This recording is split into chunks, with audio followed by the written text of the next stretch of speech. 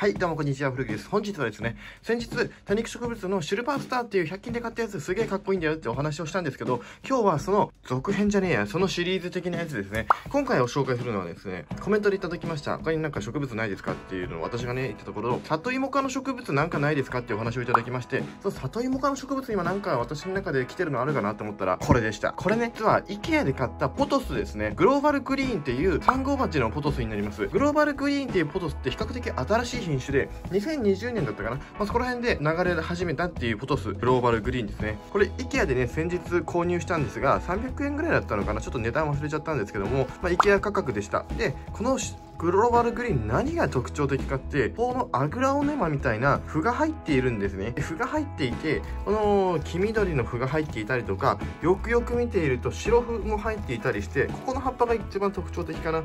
こういう白と黄緑となんかこういうね、まあ、3色ぐらいのバリエーション、まあ、この白いのはなかなか珍しい方かなと思うんです。基本的には1色の符が入っていてすごくね丈夫で育てやすいっていうのがグローバルグリーンの特徴なんだそうです。詳しいところはねちょっと私のブログの方にも来ましたんでちょっとそちらの方をご参考いただければいいのかなと思いますので概要欄にこちらのブログのリンクを貼っておきます。ポトス買ったのはですね1ヶ月ぐらい前なのかな。でサイズ感もねかなりこの1ヶ月でアップしました。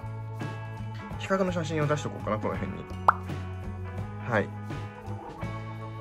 でね、このグローバルグリーンさんね、今育てている環境は結構適当なところに置いてます。ほどほどに日差しが入って、まあ LED 照明なんか近いんですけど、まあそういったところに今置いてます。だからそこでもね、かなり十分に育つんですよね。で、買ってからまあ一回水あげたのかなっていう感じで、水もね、かなり辛めでも結構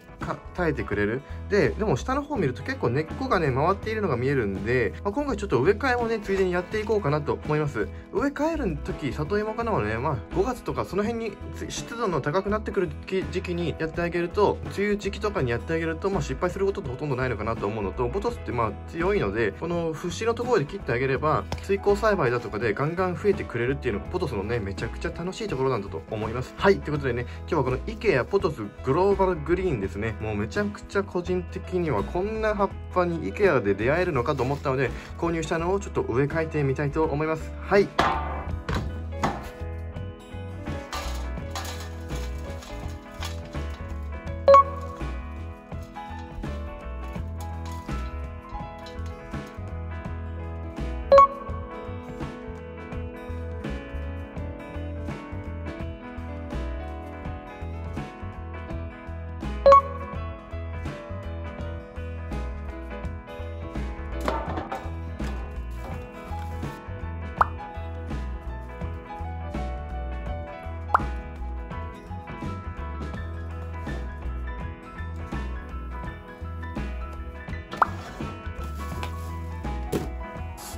はい、っていう感じでですね、ポトスの植え替え完了しました。この植え替えはね、比較的、まあ簡単ですよね。で、私、このポトスとかはハンギング的な感じでね、上に多分置いておくことになると思うので、なるべく軽いコンポストを使いたかったんですよね。そういった時にね、大体ね、水苔で植えてしまっています。水苔って基本的に何でも育つんですよ、水苔で植えてしまうと。私、サボテンとかも水苔で育てたことあるんですけど、まあ、それでも水苔って、その硬さをね、調整することで、耐水性を調整することができるので、まあ、根っこがね、巻きついてしまって、植え替えとか今後しにくいってこともあるんですけど、まあ、でもね、里芋のこういったのは根っこが太いのでね、植え替えの時もそんな手間取らずにできると思います。で、結局ね、株分けもしてしまいました。水苔じゃなくて、ポトスって結構、まあ、密閉状態で植え込んでボリューミーな感じに出させてるっていう感じが多いので、まあ、それをね、まあ、その雰囲気残しつつですね、ちょっと大きすぎるのは、うまいことポロッと取れたのはこんな感じで分けてみました。結局これでめちゃくちゃ増えるポトスの沼がね、現れるわけですね、ここにね。はい。こんな感じで、IKEA のポトス、ポトスだよね、ポトスじゃないよね。IKEA のポトス、グローバルグリーン里芋科の植物ですね。私が今ちょっとときめいている植物のご紹介と植え替えと株分けもついでにしてしまったという動画になりました。ご視聴いただきどうも